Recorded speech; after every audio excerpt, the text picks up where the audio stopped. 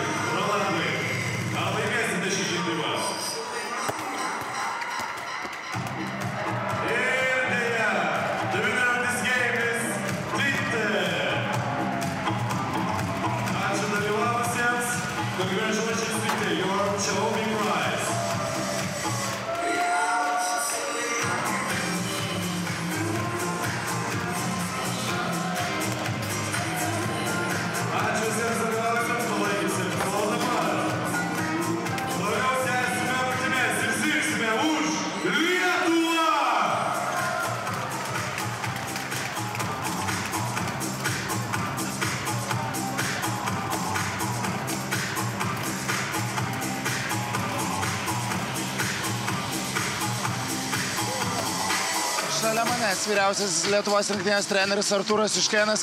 Treneris, sakykite, ką reikėtų pakeisti Lietuvos rinktinėje antrajame kelnėje, norint teigiamo rezultato. Mesti įvar, įvarčių, įmesti daugiau negu įmeta priešininkai. Jeigu mes daugiau nepakeitinėsime, turim labai sudėtingą situaciją su traumomis ir reikia tik išpildyti tą, ką susikūrėme, daugiau nieko nebus. Vaidotas Grosas dar išbėgs šiandieną. Nemanau. Taigi tokios e, vyriausio Lietuvos rinktinės trenerio mintis prieš antrąjį kelnį netrukus jis startuos. Dabar rezultatas lygus.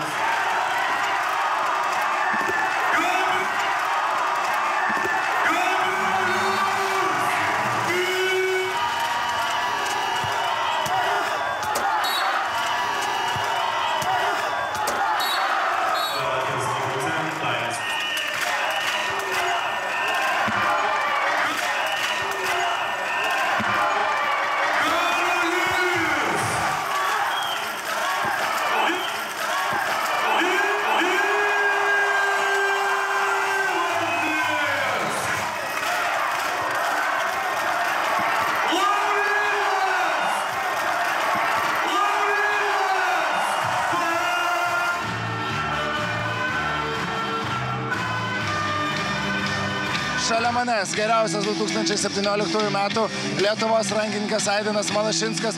Sakyk, Aidinai, kokios tiesiog mintis yra po šios pergalės prieš Latviją? geras. E, Mintis tokios, kad e, patekom, patekom į kitą etapą ir dar nepraradom vilčių patekti į pasaulio čempionatą. Taip kad dabar lengvas polsis, atgal į klubus ir vasarą ruošimės.